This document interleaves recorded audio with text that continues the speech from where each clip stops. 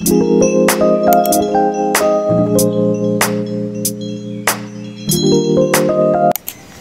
welcome to my channel Neetu's garden तो चलिए आज हम, मैं बताऊँगी आपको कनेर के पौधे के बारे में। मेरे पास पिंक कनेर है। तो देखिए, ये कितना सुंदर लगता है। इसमें फूल बहुत अच्छे आते हैं और गर्मियों में तो ये पूरा ही फूलों से भरा होता है।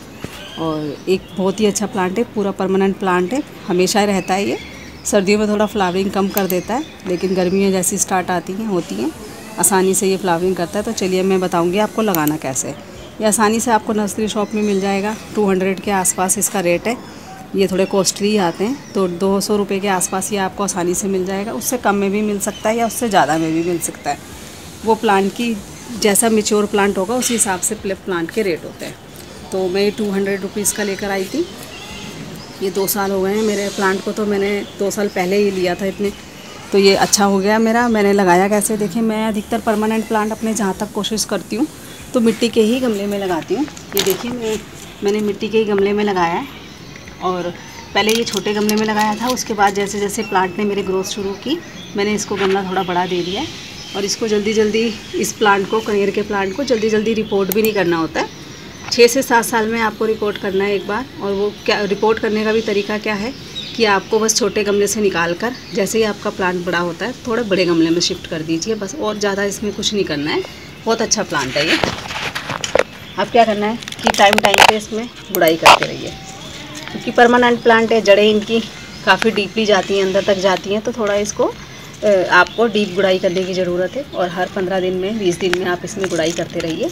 और पानी परमानेंट प्लांट है और पानी भी इसको आपको जब ही डालना है, जब गमला सूख जाए। और रखना कहाँ पर है? इस प्लांट को दिन में चार से पाँच घंटे की सनलाइट की ज़रूरत होती है। तो इसे ऐसी जगह रखिए जहाँ इस पर चार से पाँच घंटे की धूप अच्छे से पड़ती रहे, तभी अच्छे फ्लावरिंग करेगा। और हो सके तो इसे ओपन एरिया में ही रखिए। थोड़ा इंडोर में ये नहीं चलते हैं। तो हमेशा इसे ऐसे रखिए कि फूल कंटिन्यू आते रहें, क्या करना है। देखिए, ये खुद ही अच्छी ब्रांचेस निकालता रहता है, लेकिन जैसे आपको लगे कि भाई इस पर से फूल अब आना बंद हो गए तो तभी आप इसको यहाँ से कटिंग कर दीजिए, अपने आप या नहीं, अलग से ब्रांच निकालेगा। मैंने तो इसकी पहले ही विंटर में कटिंग की थी तो अब ये सारी ब्रांचेस निकाल चुका है और पीक पे फ्लावरिंग इसकी चल रही है। ये पिंक कलर का है, देखिए, फूल ही बहुत ही सुंदर लगते हैं इसके फूल देखने में भी। अब मिट्टी इसको आप नॉर्मल मिट्टी में लगाइए, आसानी से चल जाते नॉर्मल मिट्टी में ही लगाना चाहिए इसको, चल रहा है आसानी से मेरा तो प्लांट और इसको आप फ़ीड कैसे करना है? देखिए, फूल आएँगे तो इसको हैवी फीडिंग की ज़रूरत है। फूल कंटिन्यू आते रहें तो फीडिंग तो करना पड़ेगा ना हमें। तो फीडिंग करने के लिए आपको क्या करना है? देखिए कंपोस्ट इसमें आप वर्मी कंपोस्ट डालिए, उससे ये बहुत अच्छे से चल जाते। बस आपको एक मुट्ठी, ये अपने गमले की रिक्वायरमेंट के हिसाब से ही इसमें कंपोस्ट डालना है। और हर पंद्रह से बीस दिन में आप वर्मी कंपोस्ट डालते रहिए।